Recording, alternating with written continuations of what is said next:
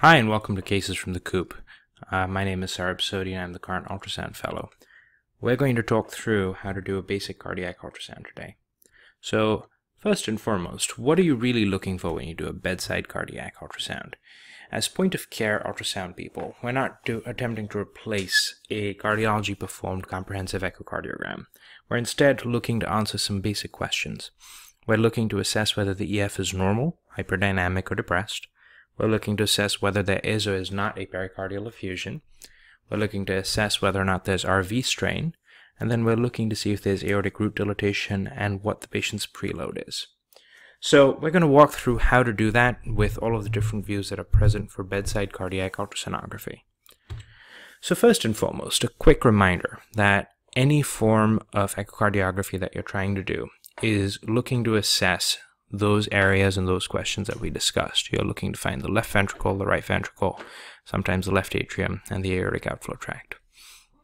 Now, as a reminder, with technical, technically, if you pick up a book, the book will tell you that if you're looking for a parasternal long axis view, you should simply plop the probe down in the second or third intercostal space, and that's where you'll find it.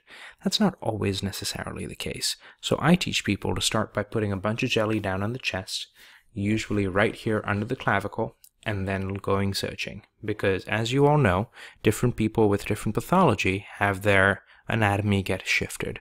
So what that means is that if you have a patient who's got a large belly, not infrequently their heart will be way up high and you'll see a parasternal view in that first or second intercostal space. And conversely, if you have a COPD or, or an asthmatic who's hyperinflated, often the only views you'll get that look parasternal are down by the xiphoid process. So once you try to think about fanning through that space, that's the approach to do.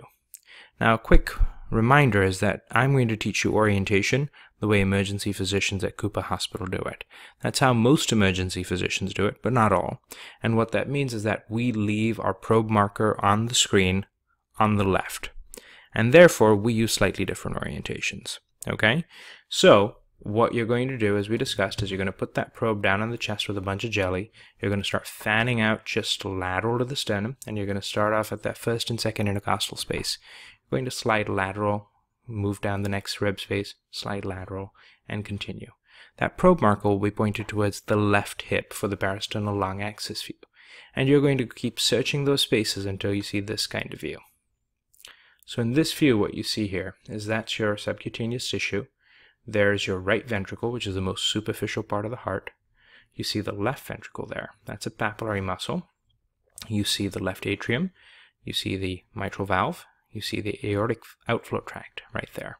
And you see the descending thoracic aorta. So as we talked about all of your image, as we talked about all of the questions that we assess for, the parasternal long axis view is a great view to look for an effusion. One of the frequent things you can use to distinguish a pericardial from a pleural effusion is to look at the, uh, the aorta. If the effusion is superficial to the, to the descending thoracic aorta, it is more than likely going to be pericardial. If it's deep to the aorta, it is more than likely going to be a pleural effusion. Secondly, this view is pretty good for estimating ejection fraction. Now, as you can see as well, if you're looking at that ventricle, you can see how well it's contracting. The normal ejection fraction is about 65%. You're simply looking to see whether it eject, whether the heart is contracting normally, whether the entire ventricle is coming together well, and the excursion of that mitral valve, all of which looks normal here. Additionally, this is one of the few views that examines the exit or your aortic outflow tract well.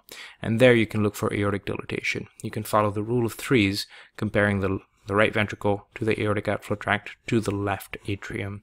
And if one of those looks bigger than the others, that may be an abnormality. So you found this view, you figured it out. What you do next then is you take the probe and you rotate it 90 degrees towards that right hip. And as soon as you do that, you'll slice through and get a view in cross section across the left and right ventricles. Now, as a reminder, you could do that at any level. So you could catch that right at the level of the mitral valve. You could catch it at the level of the papillary muscles, or you could catch it at the level of the apex. Now, your parasternal short axis view is great for figuring out ejection fraction, but the place you should assess for ejection fraction is at the papillary muscles. because your mitral valve annulus is fixed, so it'll always look like a depressed ejection fraction, and your apex is always hyperdynamic, which will make you think that the patient's maybe going to need some fluids when they may not be when they may not need or tolerate them. So you want to try to find the papillary muscles to assess for it. And this is what that looks like. So here you see a beautifully concentric, nice round left ventricle. You see it contracting normally and symmetrically. You see these two bright hyperechoic areas within it that are your uh, that are your papillary muscles. And then additionally, posterior to it, you see the pericardium. And that's the RV up there, which is nice and small and looks like it's contracting well. It doesn't look like there's a ton filling through there, but you're not getting the best slice of it. Now, as a reminder, this view is good for an effusion. It's great for ejection fraction. And occasionally you'll see signs of RV strain, typically what's called a D sign, or sometimes you'll see interventricular dependence, all of which we can discuss later. Once you've gotten that view, you move on to what most people think is the scariest view, which is your apical four-chamber view. Now, the apical four-chamber view, classically you're told to find the patient's point of maximal impact. I've never gone looking for that to find it. The other way you're classically taught is to put the probe right underneath the, um, the nipple line in a man, or in the inframammary crease in a woman. And we keep the probe marker pointing towards patient right. So once you put the probe there, here's what you'll see. You'll see if you have it properly collected, you'll be sitting right over the apex of the heart. So you'll see the left ventricle here, you'll see the right ventricle on screen left. Additionally, you'll see the mitral and tricuspid valves perfectly in plane. If you have both valves perfectly in plane, that is a perfect apical shot. And then you will see down here your left and right atria. Now this view is the best view for you to rule out right ventricular strain. What do I mean? I mean that if your right ventricle, which should be two-thirds or less the size of the left ventricle, is the same size as the left ventricle, and that would suggest you have right ventricular strain. So we use a 1 is to 1 ratio. That means that the right ventricle should be bigger than the left ventricle, and if you're not sure and you're trying to measure, you should measure across the valves. At the, at the area at the level of the valves, straight across the interventricular septum to compare the two. This view is often one of the most important views you can get. All of them are great, but this view in particular will give you a good view looking at what an effusion is doing to the heart, whether or not there is a large effusion. It's another good view to assess for ejection fraction, and it's essential for RV strain as we discussed. It's also the view you'll use for any advanced cardiac sonography, looking at things like left ventricular outflow tract uh, velocity time integrals, trying to assess for volume responsiveness, as well as for more advanced Doppler applications like valvular disease. All right, and moving on, the last one, subxiphoid.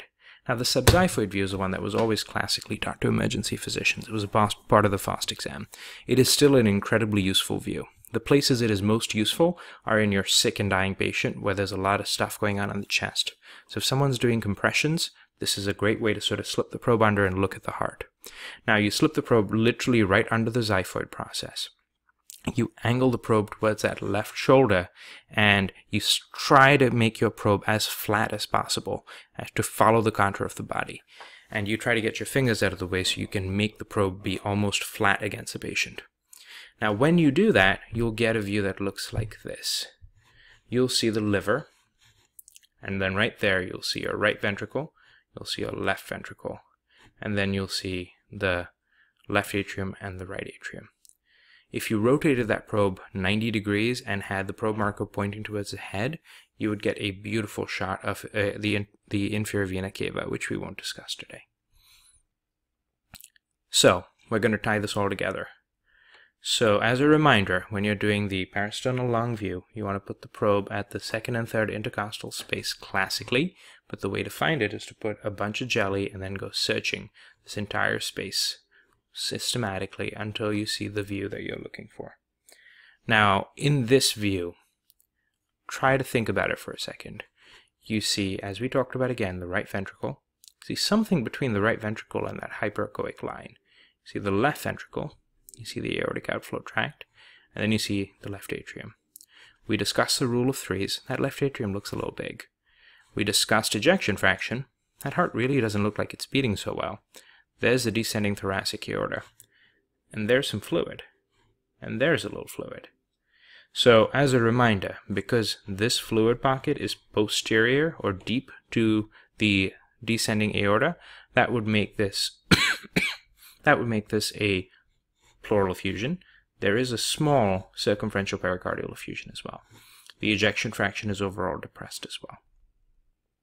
Moving on as a reminder for the parasternal short axis, you rotate that probe 90 degrees towards the other hip. And when you do that, if you were to see a view like this, you're seeing this nice crisp view of the endocardium, so that's a very adequate view. You're seeing right there your papillary muscle. Then you're seeing a right ventricle that looks like it may be a little generous, but as we discussed, we look for that mostly in the apical view. But instead, what you're seeing here is an ejection fraction that's quite low. The heart's barely squeezing, and there's barely any contraction. So this would be a depressed ejection fraction. Moving on to that apical view, as a reminder, you can either find the point of ma maximal impact, or you can go under the nipple line, or the inframammary crease for a woman, with the probe marker pointing towards patient right, and you will get this view. On this view again, you see that that left ventricle is really not squeezing in this view.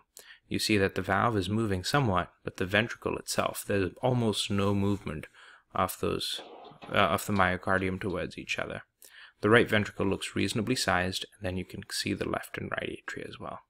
So this again in this clip would be a depressed ejection fraction. And now finally, you get a subxiphoid view. So in this subxiphoid view, you put the probe right under the xiphoid process and you get this picture. Now this picture is an example of what could be tamponade. You see an effusion, you see collapse of that right ventricle, and you're trying to figure out if that's in systole or diastole, which makes it challenging. We're not, I'm not going to tell you if this is tamponade or not. For that, you'll have to tune into the next round of lectures. But, as always, if you have any questions, feel free to reach out, um, either in person or on Twitter at CooperEMUS. Thanks, and have a great day.